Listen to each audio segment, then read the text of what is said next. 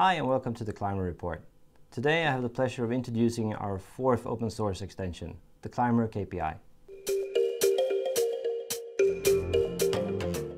The extension is created in such a way that it should fit well into standard Qlik dashboard.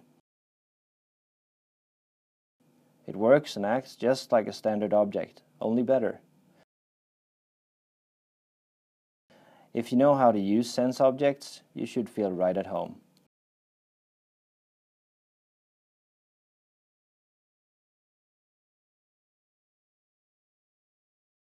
It is responsive and scales to just about any size you may want and the text is adjusted dynamically.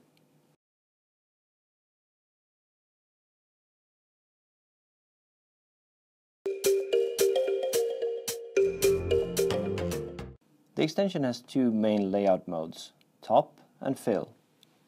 This allows you to have the text either above or on top of the trend line. You can of course also use the extension without a trend, in that case, you can use the background color or an image to further visualize your numbers. There are three options for hover. First, the standard tooltip to show the details of each data point. Second, only the details of your values, but as a larger text. Note how we add more data here than you want constantly on your dashboard. Third option is the navigation feature, where you can both navigate to a sheet and apply a few different actions like clearing or selecting values in a field. You can also choose to remove all hover functions if you don't like them.